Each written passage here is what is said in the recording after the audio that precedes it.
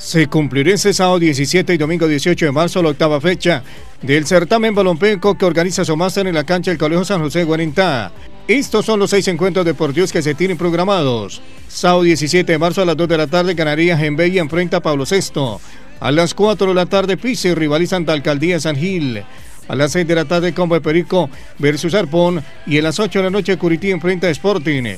Para el domingo 18 de marzo se tienen programados dos partidos. A las 7 de la mañana Independiente MG versus Autotornillos y a las 9 de la mañana Pueblito Viejo El Socorro versus Páramo. El decimosegundo hexagonal de fútbol que organiza Lirio Mantilla Superano disputará una fecha más en la cancha del Colegio San José Guarentá.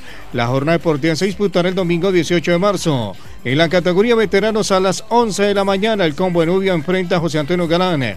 A la 1 de la tarde Cacique Guarentá versus Curití en la categoría única. A las 3 de la tarde combo de Álvaro rivaliza ante Cafetería El Zaguán en la categoría única.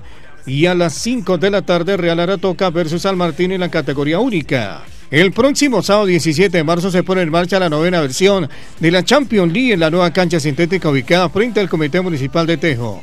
Estos son los partidos programados. A las 4 de la tarde, Fundiciones Reyo rivaliza con Alcaldía de San Gil. Seguidamente se enfrentarán Dani Mar y el combo de Grillo. A las 6 de la tarde, Unipapel se verá las caras con Deniarepa. Posteriormente jugarán los equipos Fútbol para Todo y Alianza Curití. La primera fecha se cerrará con el partido que disputarán JG Juan Cardoso y Pipe Fútbol Club.